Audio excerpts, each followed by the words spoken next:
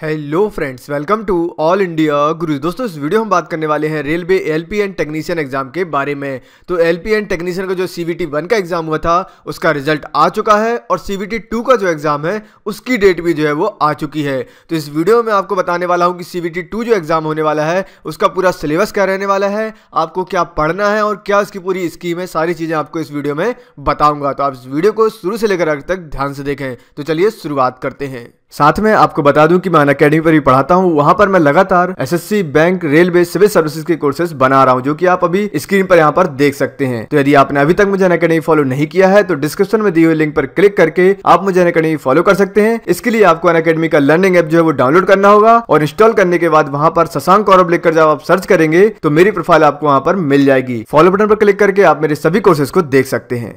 तो सबसे पहले तो उन सभी को बधाई जिन्होंने जो है वो सी टी वन को जो है वो क्लियर कर लिया है। अब हम बात करते हैं second stage of C T computer based test की। तो सी टी टू जो एग्ज़ाम होने वाला है, उसका पूरा सिलेबस मैं आपको बताऊँगा और कैसे क्या जो है इसको आपको क्वालिफाई करना है। तो सबसे पहले यदि हम बात करें तो ये जो एग्ज़ाम होने वाला है सीबीटी टू का, ये दो पार्ट में इसमें पेपर होगा पार्ट ए और पार्ट बी ठीक है, दो होने वाला है। सबसे पहले हम बात करते हैं पार्ट ए की। टोटल आपको यहाँ पर जो टाइम मिलेगा, वो मिलेगा दो घंटे तीस मिनट का। ठीक है मतलब आपको यहाँ पर ढाई घंटे मिलने वाले हैं पार्ट ए और बी दोनों को मिलाकर। पार्ट ए की यदि हम बात करें तो इसमें आपको दोनों टोटल जो टाइम मिलेगा, वो मिलेगा नाइन्टी मिनट का।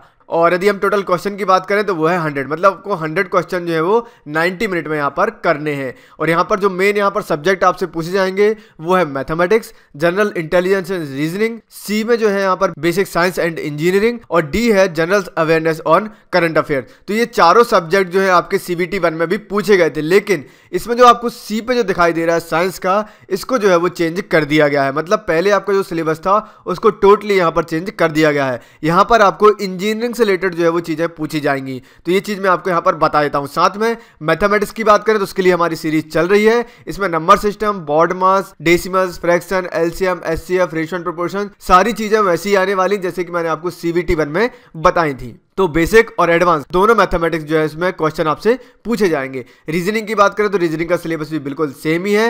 एनालॉजिस के क्वेश्चन, अल्फाबेटिकल और नंबर सीरीज़ के क्वेश्चन आपको यहाँ पूछे जाएँगे। कोडिंग एंड डिकोडिंग के क्वेश्चन आएँगे। ठीक है मैथमेटिकल ऑपरेशन जहाँ प्लस माइनस डिवाइड करने का वहाँ पर दिया रहता है, वो सारी चीज़ आएँगी। रिलेशनशिप्स के क्वेश्चन आएँगे यहाँ पर और बहुत सारे क्वेश्चन जो है यहाँ पर पूछे जाएँगे, जो कि रीजनिंग से हमेशा पूछे जाते हैं। ठीक है तो इसके लिए आप क्या करेंगे एएलपी का जो अभी एग्ज़ाम हुए थे, उनके जो क्वेश्चन पूछे गए थे, वो आप एक बार ज़रूर देख लीजिए राइट अब हम बात करते हैं सबसे important basic science and engineering इसको जो है वो टोटली यहाँ पर चेंज कर दिया गया है। इसमें आपसे जो क्वेश्चन पूछे जाएँगे, वो पूछे जाएँगे इंजीनियरिंग ड्राइंग से।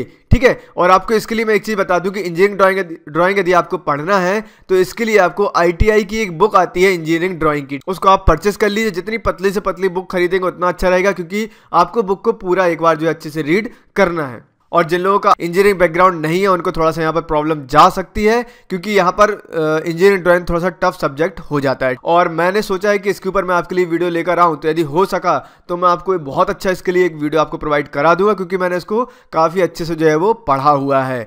अब हम यहाँ पर यदि थोड़ा सा इसको इंजीनियरिंग ड्राइंग के टॉपिक को थोड़ा सा तोड़कर देखा तो यहाँ सबसे पहले दिया है प्रोजेक्शन प्रोजेक्शन में क्या होता है? आपको डायग्राम बनाने की उसमें प्रोसेस रहती है कि आपको किसी नट का डायग्राम बनाना है या किसी भी चीज़ का डायग्राम बनाना है तो उसकी एक प्रोसेस होती है इंजीनियरिंग ड्राइंग में. तो आपको पूरी प्रोसेस पढ़ना होगी. आपको पढ़ना होगा ड्राइंग सीट के बारे में पेंसिल्स के बारे में और पूरी मेथड वगैरह जो है आपको इसमें पढ़नी होगी. व्यूज़ की बात करें तो हॉरिजॉन्टल व्यू वर्टिकल व्यू कैसा रहेगा उसका, ठीक है? और बहुत सारे व्यूज़ होते हैं जो कि इंजीनियरिंग ड्राइंग में पढ़ाए जाते हैं। इसमें आपसे जो है इससे क्वेश्चन पूछे जा सकते हैं। यदि हम यहाँ पर बात करें ड्राइंग इंस्ट्रूमेंट की तो ड्राइंग इंस्ट्रूमेंट में आप देखेंगे टी स्क्वायर आता है ड्राफ्टर आता है, जिससे कि लाइनिंग वगैरह जो है वो की जाती है ड्राइंग बोर्ड होता है कंपास होता है, और ये सभी चीज़ें जो है अपने आप में बहुत इंपॉर्टेंट है, और इनसे क्वेश्चन आसानी से बन भी जाते हैं। बात करें हम लाइन की तो लाइन में आपसे पैरल लाइन डॉटेड लाइन ठीक है हॉर्जोंटल लाइन बहुत सारी लाइंस होती हैं ड्राइंग में, वो सारी चीज़ें इसमें आपसे पूछी जाएँगी। मैं अभी आपको ओवरव्यू देता जा रहा हूँ कि क्या क्या चीज़ें इसमें आपसे पूछी जा सकती हैं। तो इसके लिए आपको इंजीनियरिंग ड्राइंग की जो है वो बुक परचेस करनी पड़ेगी, जो कि आईटीआई का सिलेबस कंप्लीट करती है। आप बुक को परचेस करेंगे और उसके अंदर आपको देखना है कि प्रोजेक्शन का टॉपिक कहाँ पर दिया है व्यूज़ का कहाँ दिया है ड्राइंग इंस्ट्रूमेंट का कहाँ पर दिया है, वो सिर्फ़ उन्हीं टॉपिक को आपको पढ़ना है, पूरी बुक को नहीं पढ़ना है। उसके बाद यदि हम बात करें यहाँ पर तो जोमेट्रिकल फिगर जो होते हैं, जैसे कि हम बात करें कि एंगल दे दिया ट्रैंगल दे दिया स्क्वायर दे दिया सर्कल दे दिया, ये सब ड्रॉ करने की प्रोसेस भी होती है उसमें तो ये सारी चीज़ें आपसे इसमें पूछी जाएँगी।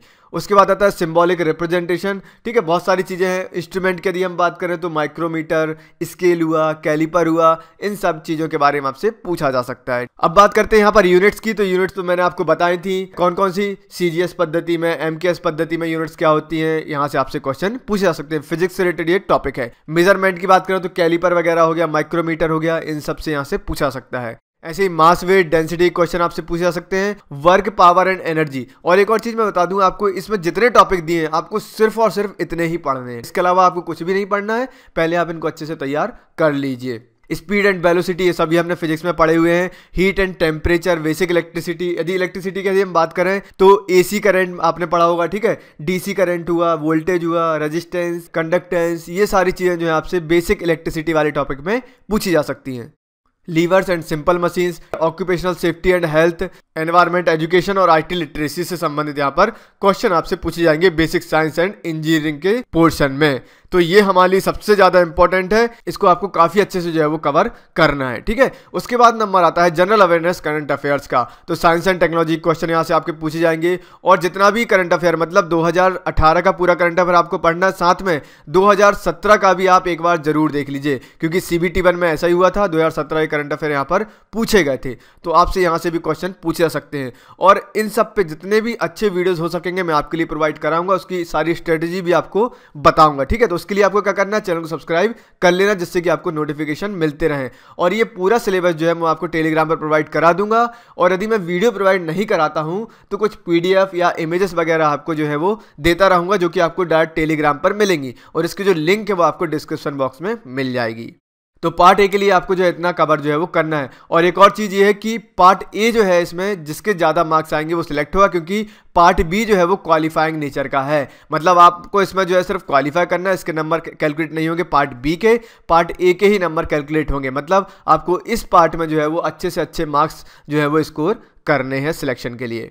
अब आते हैं हम पार्ट बी पर। तो पार्ट बी जो है, ये रहने वाला है साठ मिनट का, और इसमें आपसे क्वेश्चन पूछे जाएँगे पचहत्तर क्वेश्चन। और क्वालिफाइंग मार्क्स की बात करें तो 35 परसेंट नंबर जो है आपको इसमें लेकर आने हैं। तो 35 परसेंट मार्क्स यदि आप लेकर आते हैं तो आप इसको क्वालिफाई कर लेंगे। ज़्यादा नंबर इसमें लाने की ज़रूरत नहीं है। अब यदि हम इसके सिलेबस की बात करें तो इसका सिलेबस जो है आपको आर की वेबसाइट्स पर मिल जाएगा। उसमें क्या होगा? जैसे कि यदि आपने इसमें डिग्री या डिप्लोमा की बात करें तो यदि आपने इलेक्ट्रिकल इंजीनियरिंग या combination of various stream of electrical engineering लिया है, डिग्री या डिप्लोमा तो आपको इन ट्रेड में से जो है वो सिलेक्ट करना था कोई भी एक सब्जेक्ट को, ठीक है? तो आपने जो भी यहाँ पर सेलेक्ट किया हो, उसका आप आईटीआई का सिलेबस निकाल कर और उसको जो है ज़रूर पढ़ लीजिए। उसके बाद आता है सेकंड यहाँ पर इलेक्ट्रॉनिक्स इंजीनियरिंग का तो यहाँ पर electronic mechanic mechanic radio and TV इसका सिलेबस आप देख लीजिए, ठीक है? ऐसे ही आपको सारी स्ट्रीम यहाँ पर दी गई हैं, उनका सिलेबस आप देख और इसको ज़रूर एक बार पढ़ लीजिए। उसके बाद नंबर आता है फिफ्थ में एचएससी मतलब टेन प्लस टू भी इस पर जिन्होंने भरा था, जिनका फिजिक्स या मैथ्स था ट्वेल्थ लेवल पर, उनको यहाँ पर जो है वो तीन सब्जेक्ट दिए गए हैं।